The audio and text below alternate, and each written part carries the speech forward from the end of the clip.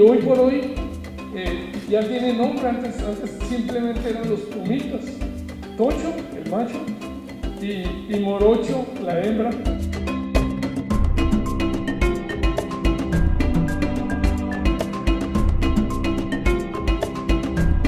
Es una expresión sonora que significa de todo un poco y mi abuelo siempre decía así.